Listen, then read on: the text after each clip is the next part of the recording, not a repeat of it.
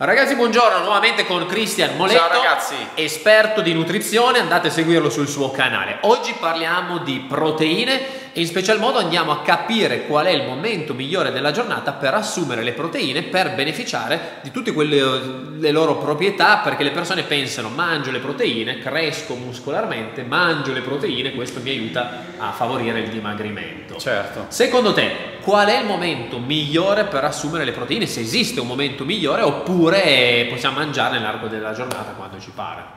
Allora, le proteine tendenzialmente possono essere assunte un po' durante tutta la giornata, eh, però possono anche essere assunte in modo concentrato. Allora, intanto eh, spesso, si fa subito, spesso si fa lo spuntino proteico a base di proteine che si reputa essere il momento migliore per, per, creare un effetto anabolico, invece bisognerebbe fare l'opposto, farlo dopo l'allenamento, perché prima tendono ad affaticare lo stomaco e, e, ridurre la performance sportiva anche perché hanno un effetto di digestione abbastanza lungo. Mentre dopo assunto insieme a una piccola quantità di carboidrati è il timing ideale per, per assumere le proteine perché ha un effetto anabolico maggiore. Se dovessimo assumerle prima allora la tempistica quanto tempo prima potremmo andarle ad assumere per non avere diciamo delle problematiche durante l'allenamento? Io direi almeno 2-3 ore prima. 2-3 ore prima per riuscire a digerire bene. Poi dipende anche dal tipo di sport che uno pratica perché io faccio calisthenics e, e, qui su questo canale so che ci sono molte persone che fanno calisthenics, in quel caso lì è meglio allenarsi, non dico a digiuno ma quasi, giusto per eh, comunque migliorare la performance perché comunque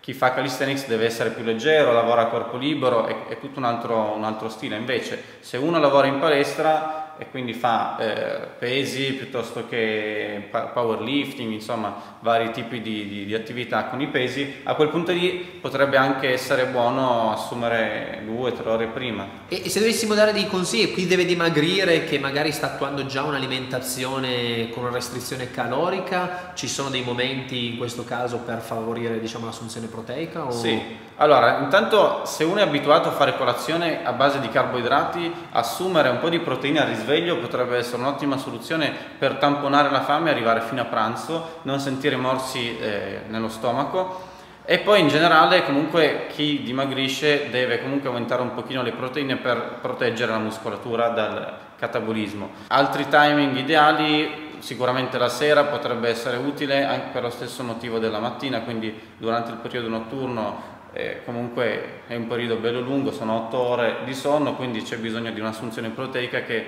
si distribuisca anche durante, durante, la notte. Altri momenti sono sempre quelli in cui ci, ci, accompagniamo dei carboidrati per non alzare troppo la glicemia, per controllarla un pochino, come sappiamo le proteine comunque vanno a stimolare l'azione del glucagone che è in contrasto con quella dell'insulina, quindi vanno un pochino a bilanciare la situazione. Perfetto, quindi abbiamo capito che in realtà non c'è proprio un solo momento per andare a assumere le proteine, possiamo mangiarle durante sì, la giornata, poi ovviamente ogni, ogni caso potrebbe essere specifico, però prima o dopo abbiamo capito probabilmente meglio dopo, se le mangiamo prima lasciamo il tempo comunque per riuscire a fare una digestione completa e poi ci andiamo ad allenare.